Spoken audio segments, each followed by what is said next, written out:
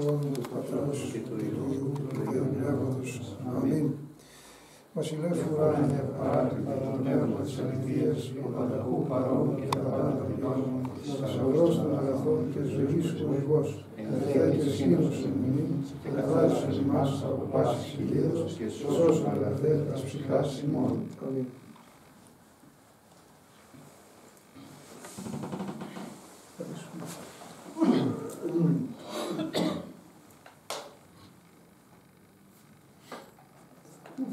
Ξεκινήσουμε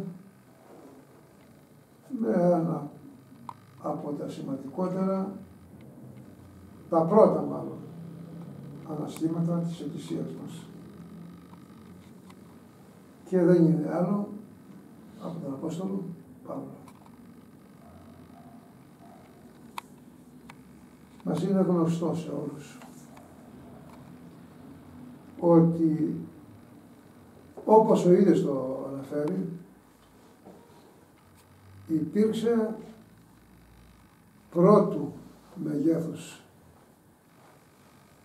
διώκτης της Εκκλησίας του Χριστού. και λάτρης των πατρικών του παραδόσεων.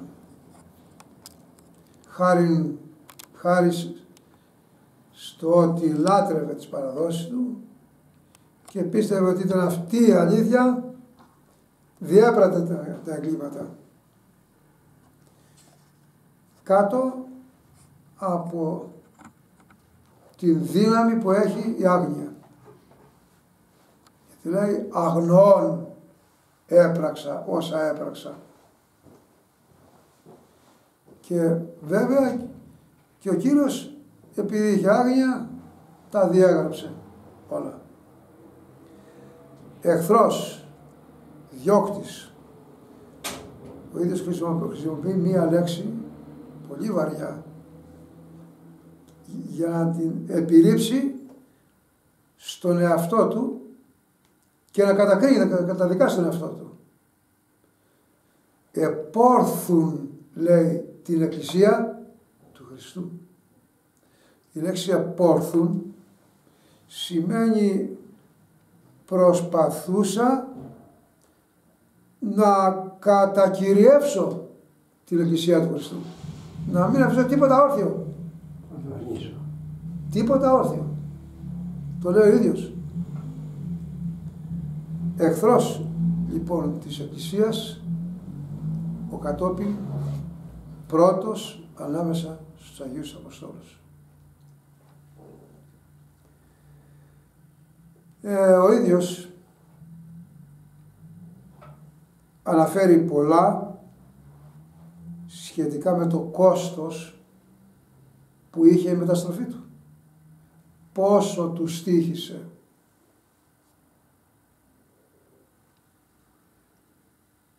Ο ίδιος λέει ότι από την ώρα που πίστεψε στον Κύριο και μετά άρχισε να πληρώνει δίνει και ο ίδιος περιγραφή γύρω από την πληρωμή που κατέβαλε για την πίστη του και το κήρυγμά του. Το κήρυγμα του Κυρίου στο Ευαγγέλιο του Κυρίου Ιησού Χριστού. Δίνει περιγραφή. Και πάνω σε αυτό το θέμα της πληρωμής για το όνομα του Ιησού Χριστού το οποίο κήρυξε, θα αφήσουμε ο ίδιος να μας καταγράψει το πόσο του κόστισε. Αρχίζω λοιπόν ένα κομμάτι από, τις, από την προς δεύτερη επιστολή, δεύτερη προς Κορινθίους επιστολή επαναλαμβάνω, κεφάλαιο ενδέκατο και στίχος 23. Επαναλαμβάνω, ενδέκατο κεφάλαιο προς Κορινθίους, ενδέκατο. Δευτέρα προς Κορινθίους επιστολή. Και στίχο 23. ε, ο ίδιος πριν εκθέσει συνοπτικά το να αναφέρεις γεγονότα είναι εύκολο και να τα καταλάβεις. Το να τα περάσεις είναι δύσκολο και πόσο χρόνο χρειάζεται. Ο ίδιος λέει εφόρου ζωής. Όσο διήρκεσε η ζωή του, τόσο διήρκεσε και το μαρτύριό του. Ακατάπαυστα. Ακατάπαυστα. Ζούσε χάρη του ονόματος του Ιησού Χριστού που το κάλεσε μία συνεχή θυσία. Μία συνεχή προσφορά. Και αυτή την αναφορά που κάνει, την έκθεση του μαρτυρίου του συνοπτικά κατόπιν μεγίστης ανάγκης την, την κάνει. Δεν θα την είχαμε. Mm. Γιατί ρε Σταύρο; Για να μπορεί ότι περηφανεύεται ας πούμε και τα λέει αυτά και αναγκάστηκε να τα πει γιατί δεν πιστεύανε οι, οι χριστιανοί. Θέλανε; Δεν θέλανε. Όχι. Δεν πιστεύανε. Όχι, όχι, όχι, όχι. όχι. Γιατί του βάλανε μια στάμπα στην πλάτη οι εχθροί του ότι δεν είναι Απόστολος. Ότι δεν είναι Απόστολος. Άλλο από, από το να συκοφαντείτε δεν υπήρχε τίποτα. Μια συκοφαντή. Λοιπόν, και ο ίδιος λέει θα αναγκαστώ χάρη των εχθρών μου, εξαιτίας των εχθρών μου, να γίνω παράφρονας. Δηλαδή, να πω πράγματα που θα τα έκανε ένας που δεν έχει μυαλό. Το αντιλαμβάνεστε σε ποια θέση; Παραφρονών λαλό. Λέει, παραφρονών λαλό. Ομιλώ και από αυτά που σας λέω φαίνεται ότι είμαι εκτός εαυτού. Είμαι παράφρονο. Γιατί θα αναγκαστώ να σας εκθέσω από το μαρτύριό μου που αυτό έπρεπε να μείνει στα απόρριτα για να δείξω με τη θέληση του Θεού ότι είμαι Αποστολός Του. Γράφει λοιπόν ελκόπης περισσότερος σε μία συνεχή μια διάρκεια κατάπαυστη γεμάτη από κόπους εν πληγές υπερβαρόντος όσο για τις πληγές που φέρνει το, το σώμα μου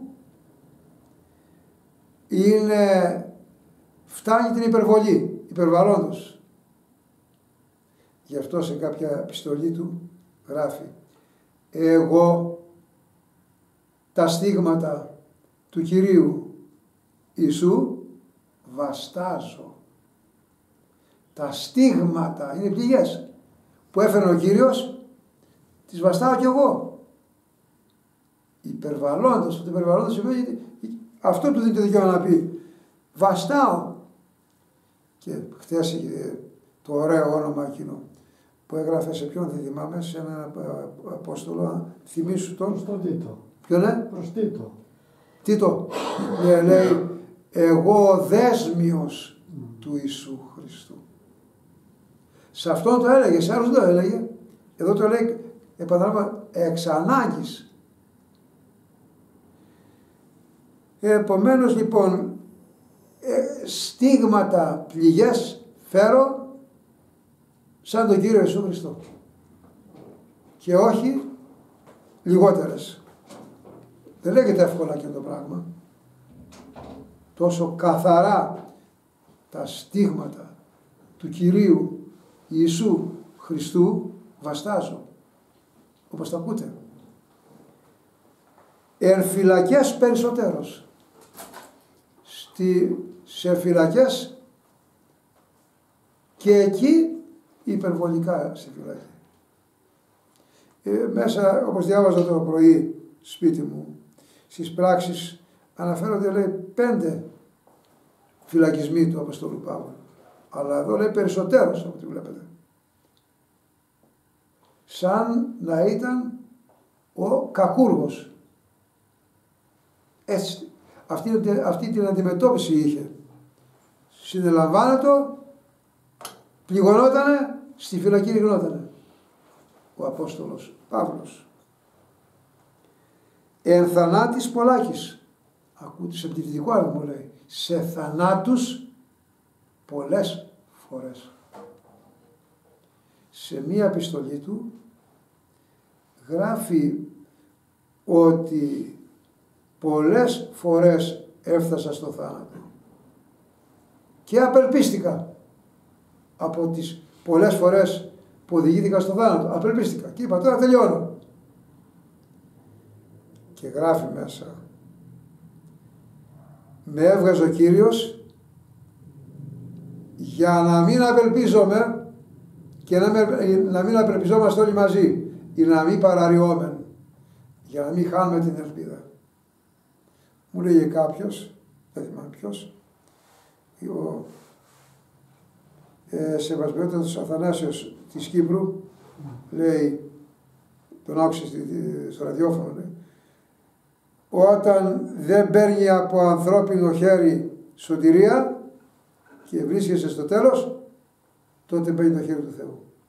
Τότε μπαίνει το χέρι του Θεού. Για να μάθουμε να έχουμε ελπίδα στο Θεό. Το λέγει ο Απόστολος Παύλος. Ή να μην παραριόμεν. Να μην απελπιζόμαστε. Μέχρι να κλείσουμε τα μάτια δεν πρέπει να λείψει η ελπίδα που είναι η άγκυρα και μας κρατάει στη ζωή.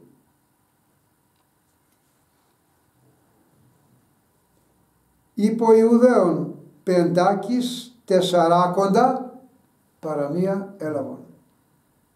Πέντε φορές λέει. Έφαγα από 40, έλειπε η μία. 39 δηλαδή. Πέντε φορές από 39. Και άνοιξα να δω τι γράφει ε, στα σχόλιά του ο μακαριστός Τρεμπέλας λέει στο Δευτερονόμιο στην Παλαιά Διαθήκη όποιος από τους Εβραίους έδειχνε ασέβεια έγραφε το Δευτερονόμιο και το γράφει, δεν έχει σβήσει ότι έπρεπε να μαστιγωθεί 39 φορές 40 παραμία και ο Απόστολος Παύλος, καλώς και ο Απόστολος Παύλος είχε χαρακτηριστεί ως εχθρός της πίστεως των, των Εβραίων. Ε, λοιπόν, συνελαμβάνεται και ως ασεβής προς τον Μωσαϊκό νόμο μαστιγωνόταν 39 φορές αλλά εκείνος είχε περάσει από το μαρτύριο αυτό της μαστιγώσεως πέντε φορές από τους Εβραίους από 39 μαστιγώσεις.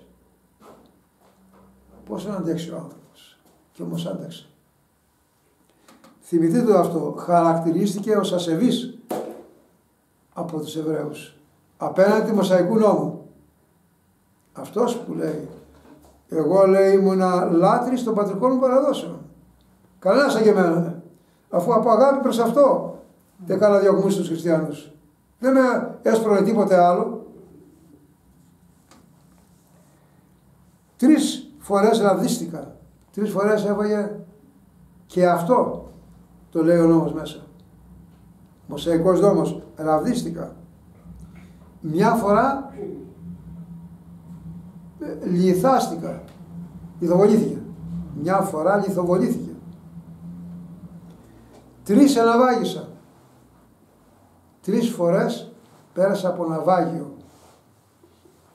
Και εκεί στις πράξεις των Αποστόλων, σε ένα σημείο, ξεκίνησε από την Ασία, δεν απατώ, μπορεί να με βοηθήσεις, άμα θυμάσαι, για να πάει για την Κρήτη. Από την Κύπρο. Από την Κύπρο για να πάει για την Κρήτη. Και ε, διάμεσα στη Μελίτη σε ένα, ε, σε ένα μικρό νησάκι λίγο πιο πέρα από το νησάκι βέβαια. Εκεί μου φαίνεται ότι- εκεί έπε- έπεσε τριγυμία κλείδων λέει ευρυκλείδων το ονομάζει η Παλαιά Δίκη. Κουνήθηκε καλά το σκάφος. Τότε είπανε κάποιος φταίει από εδώ μέσα. Να το πετάξουν στη θάλασσα να ησυχάσει το, η τρικυμία. Και είπε ο Απόστολος Παύλος τότε, είδε όραμα. Όραμα είδε. Του είπε δεν θα καθεί κανείς. Και βάσει αυτού του οράματος, τον Κύριο είδε. Τους είπε, αν δεν κουνηθεί κανείς από εδώ μέσα, θα φτάσει μεσόη στην Κρήτη. Άμα κουνηθεί, δεν θα μένει κανείς. Λοιπόν, εκεί λέει έμενε μέρες και κουνήθηκε στη, στο σημείο του Πελάγους και φαινόταν ο βυθός της θαλάσσης λέει. Εκεί λέει, γι' αυτό λέει πήγα στον πάτο. Και βέβαια δεν είναι μοναδική φορά που ο Απόστολος Παύλος έζησε τέτοια κα- κατάσταση. Αυτή αναφέρεται μέσα πράξη των Αποστόλων. Ε, ε, επομένως λοιπόν λέει νύχθη, λέει ε, ε, τρεις φορές εναβάγησα νυχθημερών εν βυθό πεποίηκα βρέθηκα λέει μέσα στο βυθό της θάλασσας. Ημερόνυχτα ημερόνυχτα πιθανόν άλλη φορά αυτή. Οδηπορίες Πολάκης έκανε οδηπορίες μονάχος του πολλές από αυτές. Κινδύνης ποταμών και ο, ο σχολιαστής γράφει που διάβαζα το πρωί ότι αφού πεζοπορούσε και ήταν χειμώνας καιρός. Ασφαλώς ήταν υποχρεωμένο να περάσει και ποτάμι. Και το ποτάμι ήταν δορμητικό και κινδύνευε να το περάσει το ποτάμι λέει. Γι' αυτό λέει κινδύνεις εν ποταμής λέει. Κινδύνευε να το περάσει λέει το ποτάμι λέει. Και όχι μόνο αυτό λέει, που ορισμένες φορές, θα το βρούμε παρακάτω βέβαια, ας προχωρήσω, κινδύνεις ληστών, τότε οι ληστές δεν έδραβαν στις περιοχές. Κινδύνευε και από ληστάς. Κινδύνεις εκγένους από τους δικούς του ανθρώπους, τους Εβραίους, από την καταγωγή του ανθρώπους. Κινδύνεις εξεδνών, κίνδυνος από ειδωλολάτρες. Να αναφέρουμε στην Έφεσο της Μικράς Ασίας που ήταν γεμάτη από είδωλα και λατρευόταν η Άρτεμις ήταν, θεωρούσαν μεγάλη η θεά Αναφεσίου. η Άρτεμις. Και προσέφεραν θυσίες τεράστιες στη θεά αυτή. Και πήγε εκεί ο Απόστολος Παύλος. Κήρυξε, τον πίστεψαν και βέβαια τον ηθοβόλησαν έως θανάτου λέει τις δεν πράξεις. Μέχρι λέει βέβαια που είπανε τώρα αν τον αφήσουμε τελείωσε και πήγα τον πήραν στην και τον συνέφερα τον, τον Απόστολο Παύλο γιατί εκεί είχαν κέρδη από τα γάλματα που φτιάχνανε οι, οι γαλματοποιοί. Τον αναφέρει μέσα ένας Δημήτριος ονόματι που ήταν αρχηγός εκεί, συνδικαλιστής θα λέγαμε στη σημερινή εποχή. Ναι, ε, αυτός λέει να τον πιάσουμε να σκοτώσουμε. Λιθοβολήθηκε. Έφτασε έως θανάτου και από το θάνατο τον έφερε στη ζωή ο Κύριος. Τον περιβήθηκαν οι Εφέσοι και έφυγε στη συνέχεια. Άρα λοιπόν ελιθάστηκε, λιθοβολήθηκε. Μία είναι αυτή η φορά, από τις πολλές φορές που αναφέρουν οι γραφές μέσα. Α, εξεδνών λοιπόν, ε, όταν ακούμε έθνη, μέσα στην Αγία Γραφή είναι τα ειδωλα, οι λαοί των ειδωλατρών. Οι εθνικοί είναι ειδωλάτρες και οι λαοί των εθνών είναι ειδωλάτρες και αυτοί. Τελείωσε. Κινδύνους σε πόλεις, κινδύνους στην ερημιά. Κινδύνους στη θάλασσα, κινδύνους λέει από ψευδαδέλφους. Σας το είπα προηγουμένως που ξεκίνησα, ότι οι ψευδάδελφοι τον κατηγόρησαν, τον συκοφάντησαν. Και αναγκάστηκε να γράφει αυτά, τα, αυτά που γράφει. Ψευδάδελφοι. Εν κόπο και μόχθο και αγρυπνίες πολλάκις. Με κόπο πολύ και με μόχθο πολύ. Και με αγρυπνίες και προσωπικά έκανε ο ίδιος αγρυπνίες αφιερώνοντας τις νύχτες στην προσευχή, αλλά αγρυπνίες για να κάνει τις οδηγορίες του, για να φτάσει από το ένα μέρος στο άλλο. Δηλαδή έμενε ξάγρυπνος ο Απόστολος Παύλος σε όλη του σχεδόν τη ζωή. Λίγο έκλεινε τα μάτια του.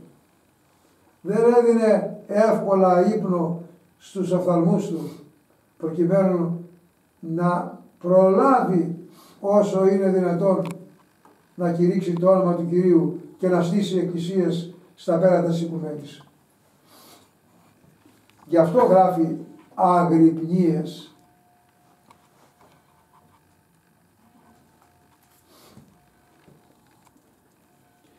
Εν λοιμό και δίψη.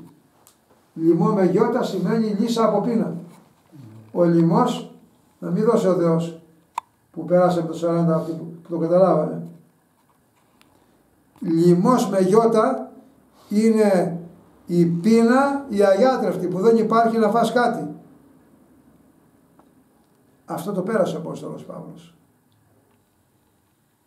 Όταν έκανε διπορίες μεγάλων αποστάσεων και έκανε βαστάγαν ημέρες και δεν είχε να φάει, λοιμό και δίψα, δεν είχε νερό να πιει. Λοιμό, εδώ βασίζονται οι ασκητές. Σε αυτές τις περιπτώσεις των Αγίων Αποστόλων μιμούνται στην άσκηση που βρίσκονται αυτά τα πράγματα. Αυτά κάνει ο Άγιος Παΐσιος. Το γράφει μέσα στα αυτά. Στο βίο του. Εάν νηστείες πολλάκις, με νηστείες πάρα πολλές φορές, εμψύχη και γυμνότητη. Λέει μέσα στην παγωνιά και γυμνός. Πέστε μου παρακαλώ. Πού να βρει ρούχα να φορέσει; Τα ίδια φόραγε και αυτά ίσα ίσα που κρατιόντουσαν επάνω του. Μέσα στη βαγονιά και μέσα στους καιρούς, τους δύσκολους, τους χειμώνες δηλαδή, που ο χειμώνας έχει ένα σωρό κακά μέσα, λέει μες στον ψύχος και τη γύμνια. Επαναλαμβάνω, το να γράψεις κάτι είναι εύκολο να το περιγράψεις με λίγα λόγια. Που κλείνει μια ζωή ολόκληρη όμως αυτό το κάτι και το έζησε αυτός που το έζησε. Μόνο άμα ζεις κάτι το καταλαβαίνεις καλά. Άμα δεν ζεις προσπαθείς να συλλάβεις με τη μνήμη και με τη, με τη φαντασία. Πώς κάνουμε τώρα εμείς;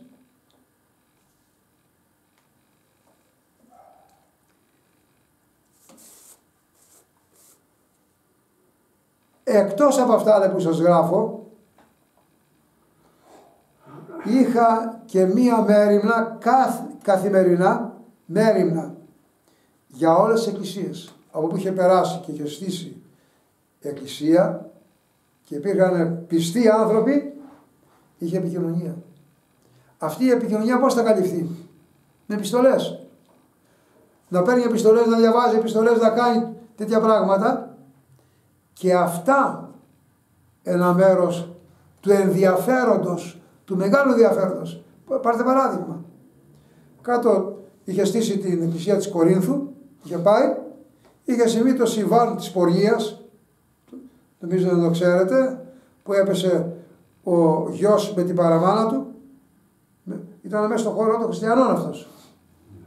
Αναγκάζεται να γράψει επιστολή, την προσκορινθίους επιστολή, στην οποία γράφει πετάχτε τον έξω από εκεί μέσα για να μην μολυνθεί ολόκληρο το σώμα της Εκκλησίας αυτά τα είχες μέσα στο μυαλό του και αφιερώνε νύχτες ολόκληρες για να μην κλονιστεί η Εκκλησία που είναι στην αρχή.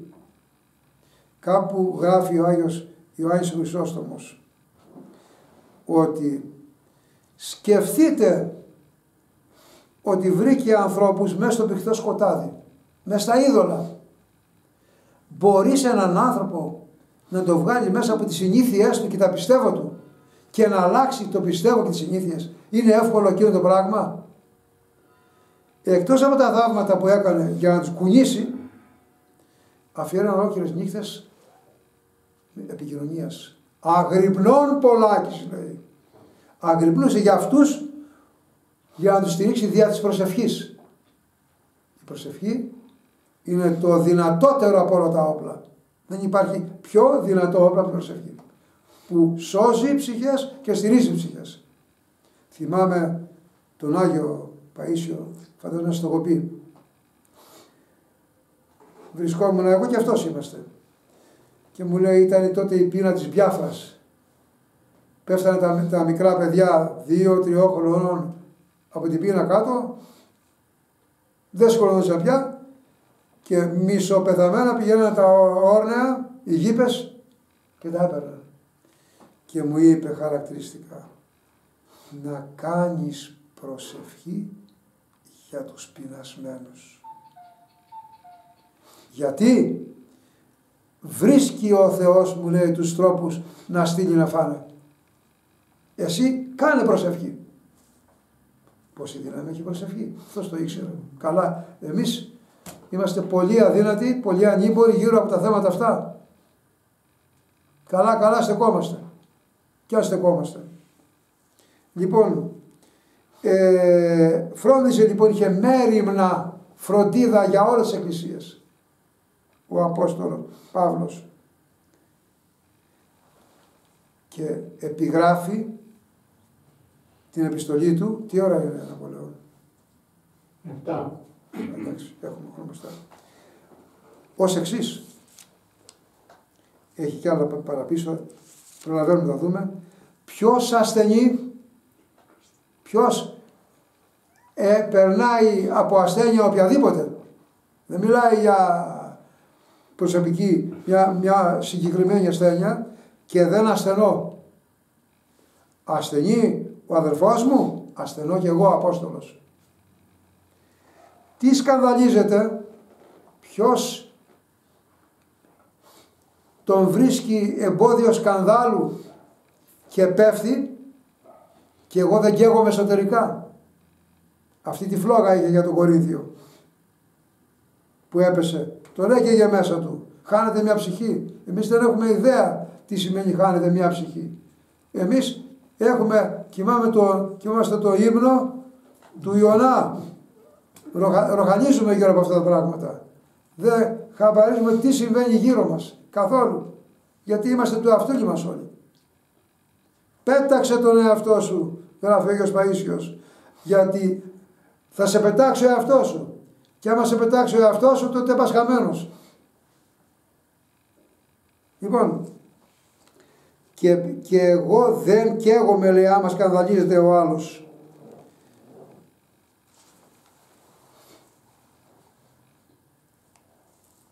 Είναι ο Απόστολος Παύλος. Μπορούσε, μπορεί, είναι δυνατόν αυτόν τον Απόστολο τον τρισμέγιστο που τον, τον αναφέρει ο Ιερός Χρυσόστομος με τις δύο λέξεις ουρανομίκη ψυχή, ουρανομίκη ψυχή, που σημαίνει η ψυχή του είναι χωράει και τον ουρανό ολόκληρο. Τέτοια ψυχή είχε ο Απόστολος Παύλος. Χωρούσε τον ουρανό ολόκληρο μέσα του. Και τον στήριζε ο Κύριος. Όταν έφτανε σε σημεία τέτοια που χρειαζόταν επέμβαση του Κυρίου, επενέβανε ο Κύριος. Π.χ. παραδείγματος χάρη, έκανε δύο χρόνια στην Κόρινθο και σκέφτηκε ότι είναι ώρα να φύγει. Όχι μόνο αυτό, αλλά έχει και διωγμούς από τους Εβραίους κάτω στην Κόρινθο. Δεν τον, δεν τον άφηναν ήσυχο όπου, όπου και αν πήγαινε οι Εβραίοι. Όπου και αν πήγαινε. και τώρα αυτοί μας κυνηγάνε. Δεν τον άφηνε δέσιμο. Και λέει, είδα τον Κύριο, γιατί σαν να λίγο κάμφθηκε η δύναμή του, παρουσιάζει τον Κύριος και του λέει, θα κάτσεις ακόμη, εγώ είμαι μαζί σου, δεν θα βρεθεί να σε κακώσει κανείς. Τη λέξη αυτή αναφέρει μέσα. Του κακόσεσαι. Να σε, να σε κακομεταχειριστεί και να βγει τη ζωή. Όχι, είμαι μαζί σου του λέει. Και αλλού, στην, όταν ήταν στην Μικρά Ασία, ε, Έφεσο, η άλλη πόλη Αντιόχεια, λέει μου άνοιξε ο Κύριος θύρα, πόρτα για να κηρύξω το Ευαγγέλιο. Μου άνοιξε ο Κύριος πόρτα για να κηρύξω το Ευαγγέλιο. Έβαζε το χεράκι του ο Κύριος ζωντανά. Ζωντανά στον Απόστολο Παύλο. Ήταν οι προσπάθειες. Όχι υπεράνθρωπες. Απερίγραπτες με τη μεγάλη του περιγράφονται. Δεν πιάνονται με τίποτα στην ανθρώπινη λογική. Πώς το κάνουμε. Ήταν τεράστια τα παθήματα για να γράφει εγώ βαστάω τις πληγές του Κυρίου στο δικό μου σώμα. Λοιπόν ο Κύριος τον καταξίωσε. Τον καταξίωσε ο Κύριος. Αλλά πριν πω όπως τον καταξίωσε θα αναφέρω την αιτία που ο Απόστολος Παύλος έμεινε άκαμπτος σε όλα τα δεινά του.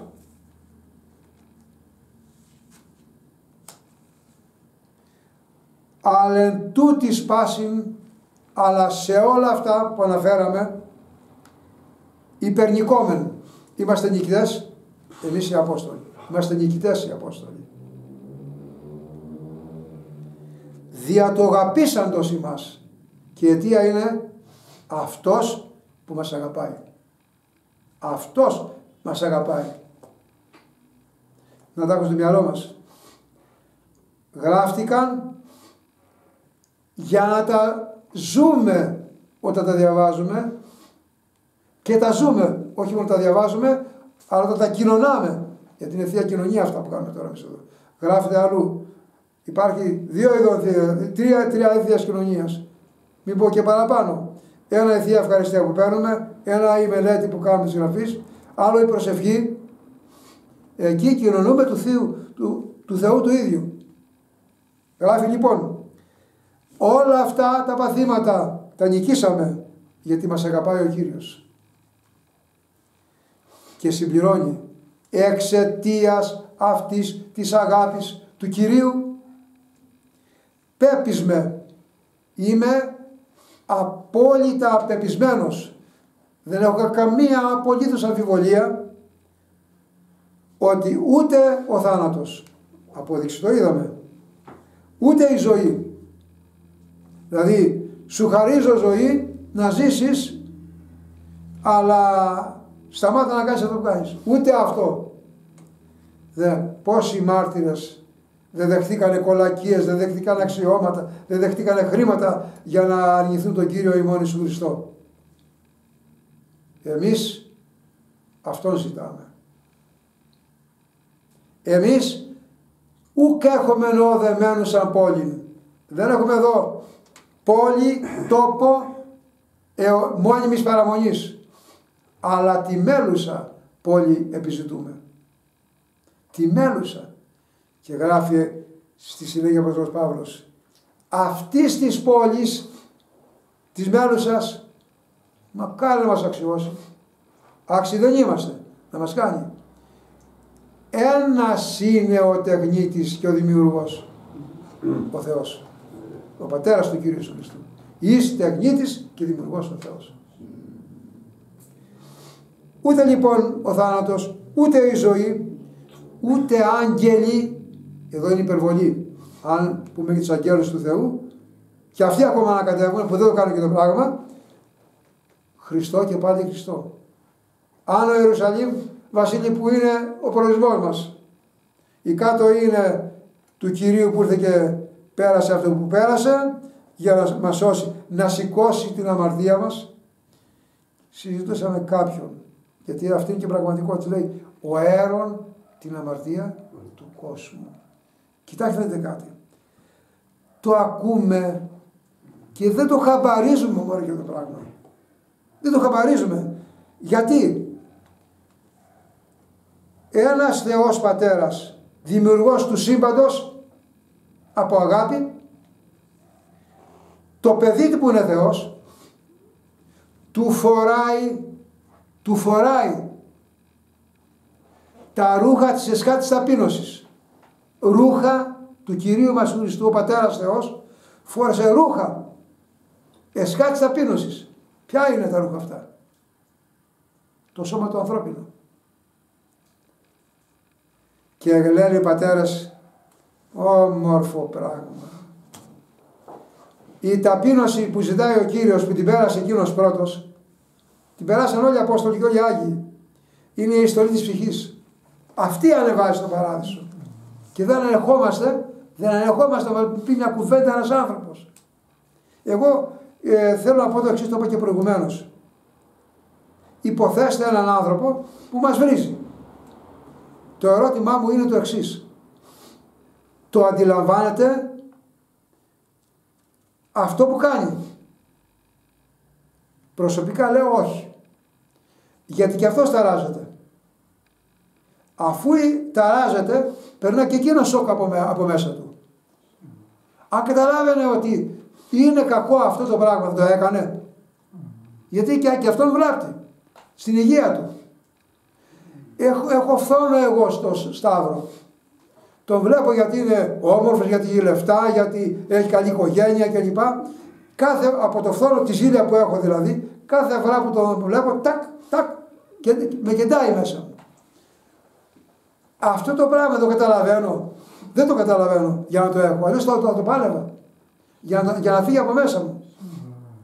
Το κακό εκδικείται αυτόν που το έχει.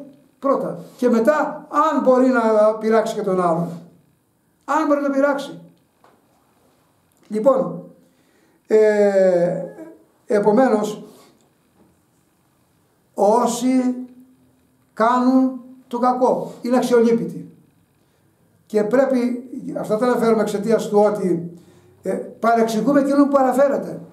Ενώ στην ουσία είναι αξιολύπητος. Και δεύτερον, δεν προσπαθούμε να απαλλάξουμε τον εαυτό μας από εκείνο το πράγμα που εκείνος επιχειρεί να μας κάνει. Τι να κάνουμε, αυτό που κάνει ο Κύριος. Φορούσε τη στολή της ταπείνωσης. Και έσκευε και βάλει κάτω. Αλλά λέει ο Άγιος Παΐσιος, όταν καλοπροσευχηθείς να καλοπεριμένεις. Να σου κάνει την επίθεση ο πειρασμός. Άμα καλοπροσευχηθείς. Γιατί έχεις πάρει δύναμη. Και πρέπει αυτή η δύναμη να βρει το έργο να εφαρμοστεί. Και θα έρθει ο ένας, ο άλλος, ο Β, ο Γ, μην περιμένεις, δώσε μου και τα παιδάκια μου να φάνε. Αυτό είναι, το, το ξέρει μόνος του. Θέλει κάτι άλλο ανώτερο ο κύριος. Το, τον άτομο μόνο να πιούσουν σαν τροφή, το δίνει ο κύριος. Το δίνει. Και μου κάνει εντύπωση που διάβασα, δεν είμαι έξω από το θέμα. Διάβασα τον Άγιο Ιωάννης Κροστάντη, το διαβάζω. Είναι πολύ Άγιο Ιωάννη. Λέει, κάνεις προσευχή δεν πρέπει από το λόγο που λες να απουσιάζει το έργο.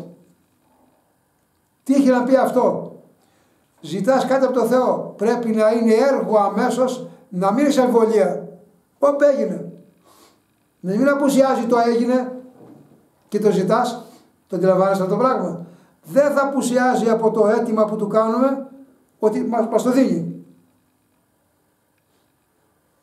Κάτω από αυτή την προοπτική φαίνεται επίσης γιατί ο κύριος όταν δεν υπήρχε τίποτα στον κόσμο, χάος, τίποτα δεν υπήρχε, ούτε και το χάος. Μόνο, μόνο, ο ίδιος ο κύριος, η Αγία Τριάδα.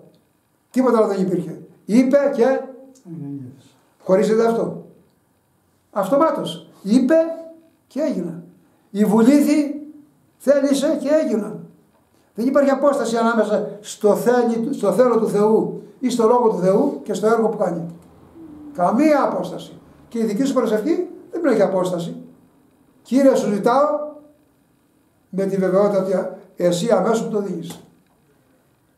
Θα πει το Αβραάμ και το χρόνια που ζήταγε, του δίνε, του δίνε πολύ ανώτερο από εκείνο που ζητούσε. Πολύ ανώτερο. Του λέγε δώσε μου παιδί 100 χρόνια ολό και δεν το έδινε. Δώσε τα 100 που δεν το περίμενε. Αλλά όμως του έδινε να καταλάβει ότι άντε και ακόμα προσευχή σου, μίλα μου ακόμα, μίλα μου ακόμα, μίλα μου ακόμα, μίλα μου ακόμα και μάθαινε το έργο της προσευχής που είναι πολύ ανώτερο από να σου δώσει κάτι να φας, κάτι να κάνεις. Πολύ ανώτερο είναι από αυτό. Δεν μπορεί να με χωρίσει λέει από την αγάπη του Χριστού τίποτα. Ούτε ύψωμα, ούτε βάθος, ούτε καμιά άλλη κτήση, αν, αν υπάρχει καμιά άλλη κτήση λέει που δεν την ξέρουμε, να μπει στη μέση να μου πει σε χωρίζω από τον Χριστό, τον αγαπάω. Έφτασε ο Απόστολος Παύλος. Αυτό ζούσε και λέει ο Άγιος Παΐσιος. Έρθουμε και στα δικά μας μέτρα. Η αγάπη είναι φωτιά. Φωτιά που καίει. Δεν την έχουμε, δεν το καταλαβαίνουμε. Είναι φωτιά που καίει. Πού το λέει αυτό ο Απόστολος Παύλος, ο, ο Κύριος, ότι είναι φωτιά η αγάπη. Που το παρεξηγεί ο κόσμος. Πυρ ήλθω βαλήν επί τη γη. Ήρθα να βάλω φωτιά στη γη. Και εννοεί της αγάπης στη φωτιά. Που δεν μπορεί να την νικήσει κανείς αυτή τη φωτιά της αγάπης. Πήρε ήλθω βαλήν επί τη γη. Και, και τι θέλω, ήδη νύφθηνε. Και όμως τώρα άναψε η φωτιά. Με τον ερχομά του άναψε φωτιά. Πώς θα φτάνανε οι Απόστολοι, πώς θα προσφέρουν σε τέτοια κατοδόματα που δεν τα χωράει η λογική του ανθρώπου και της αγάπης προς το πρόσωπο του κυρίου και του κυρίου από τη, απ τη δική του πλευρά.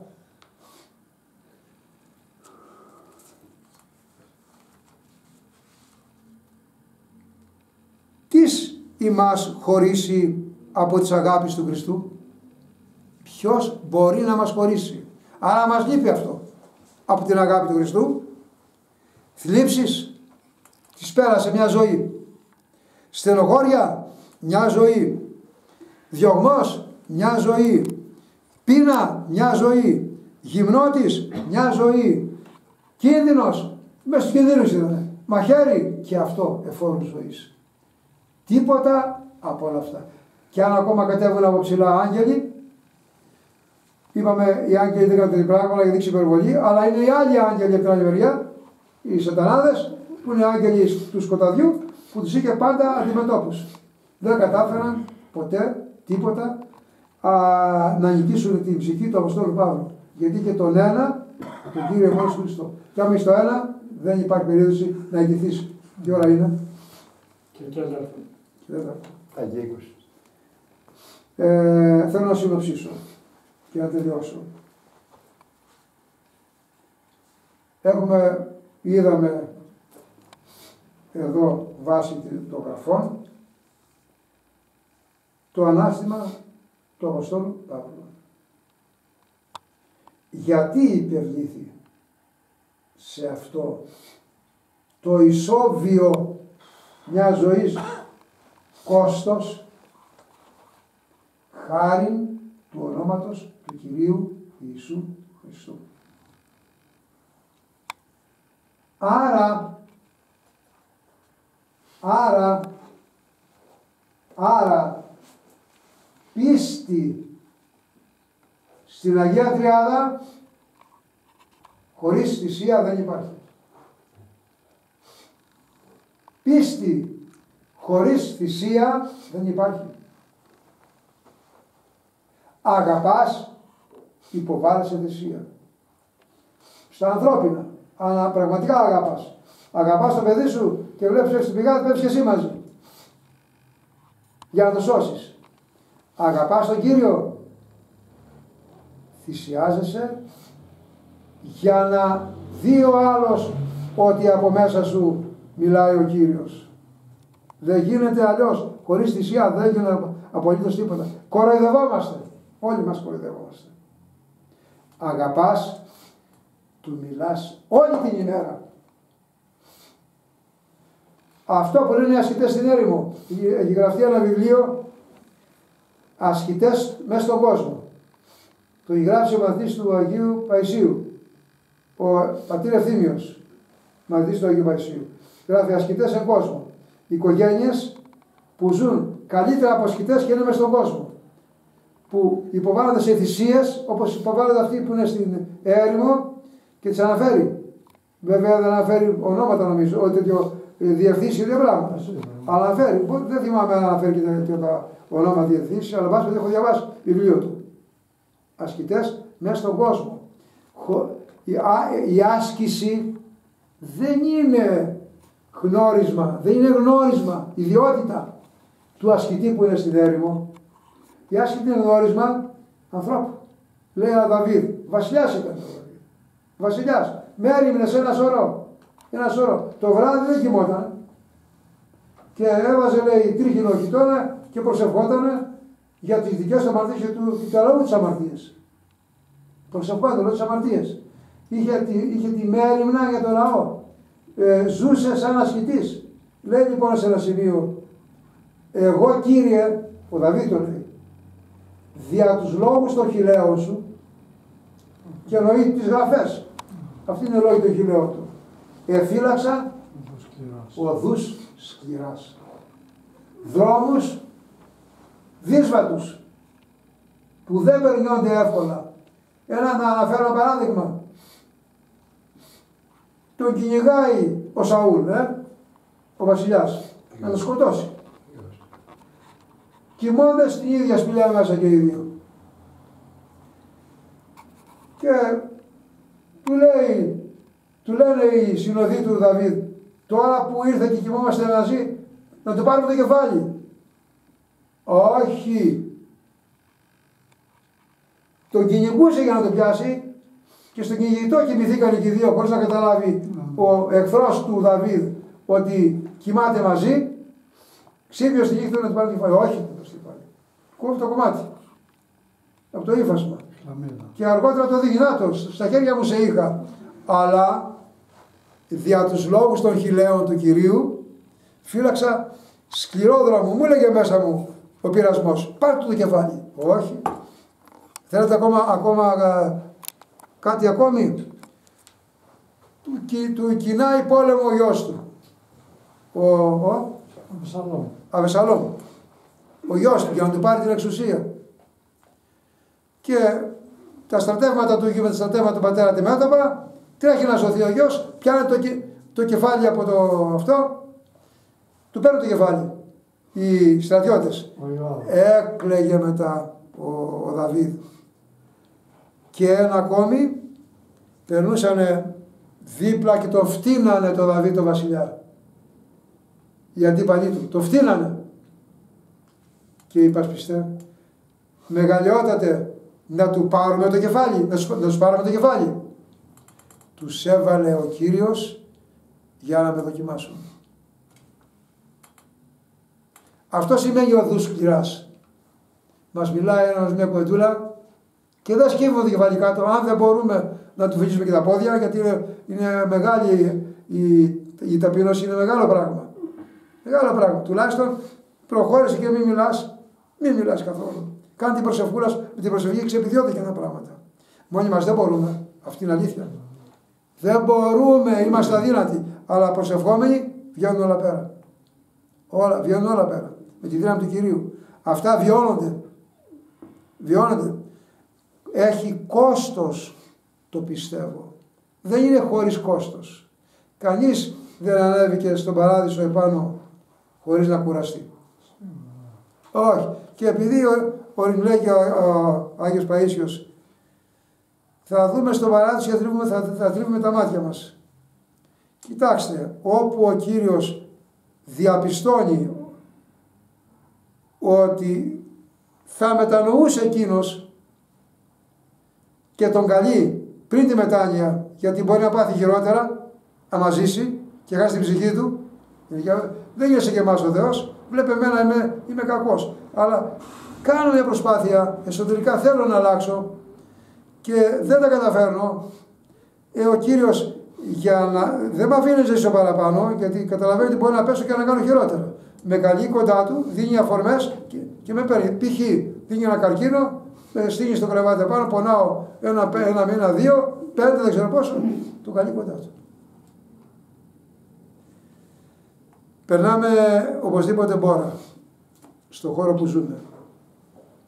Και αυτοί που έχουν αναλάβει τα ενία του κράτους οι καινούργοι δεν έχω την καμιά εμπιστοσύνη ότι θα δω καλύτερα. Πρώτο που ακούστηκε να βγάλουμε τα θρησκευτικά από τα σχολεία. ακούστηκε αμέσως. τα περίμενα. Από Α, Θεό, δεν περιμένω να θέλει να ακούσει για Θεό. Λοιπόν, είναι αρχή Και ο- όλη αυτή η κατάσταση τόσων ετών εδώ θα έπρεπε, ε, έπρεπε να οδηγήσει. Εδώ θέλανε να οδηγήσει. Και μου έλεγε, καλή του ώρα εκεί που είναι στα Γενόρος, το παιδάκι που έψελες στην Παναγία, ο Δημήτρης, έδινε εξετάσεις. Ε, κύριε Κώστα, έχουμε μια καθηγήτρια που θα δώσω εξετάσεις σήμερα και μία ερώτηση είναι, χρειάζονται οι εορθές και οι παρελάσεις. Άμα γράψουμε ναι, μας κόβει. Άμα γράψουμε όχι, μας περνάει. Το αντιλαμβάνεστε; Έτσι είναι. ναι. Ο διάβολος εργάζεται. Εδώ ορισμένοι άνθρωποι που έχουν το στέλος από τα παιδιά που έχουν πάρει Χριστό με φωτιά μέσα τους γράφουν όχι, δεν τους διαφέρει το πτυχίο. Έτσι είναι. Πώς το κάναμε και το πράγμα. Ζούμε, πιστεύουμε και πιστεύουμε ότι η πίστης έχει κόστος. Μάρτης ο Απόστολος Παύλος. Να έχουμε την ευχή του και ας ετοιμάσει εκεί δρόμο και για μας να φτάσουμε στην Άνω Πολιτεία. Αμήν. Αν θέλει να πει, να πει κάποιος κάτι, Αυτό εξαρτάται από εμά. βεβαίως από Ο εμάς. Θεός Και, έχει και από εμάς. δύναμη γιατί αυτή είναι να όλο τον κόσμο σωθεί. Λέει και σε πίμνος αληθείας ελθύν. Αλλά εμείς μας έχει αυτεξούσιος. Να το ζητήσουμε. Να το ζητάμε. Ε, βέβαια, Να το σίγουρα. ζητάμε όλη μέρα. όλη Ζητείτε μέρα. και ευρύσετε, Όλη λέει. μέρα, όλη μέρα. Κρούετε και ανοιγήσετε. Μα που δεν υπάρχει ομόνια, πώς θα δικαιώνεις. Ε, με αυτό είναι η αγάπη. Το πάνω αυτό Ε, είναι. λοιπόν. Εδώ περπατάς στον δρόμο και σου λέει σκόνταψε. Αγάπη, αγάπη. Λοιπόν, εγώ θέλω να πω το εξής. Πω, Τι λέμε τώρα. Γιατί αυτό που λέει ο αδελφός τώρα, Καραπατιάς, ε, έχει το εξής νόημα. Από, απομονώνω τον Κώστα από αυτό ψηλά.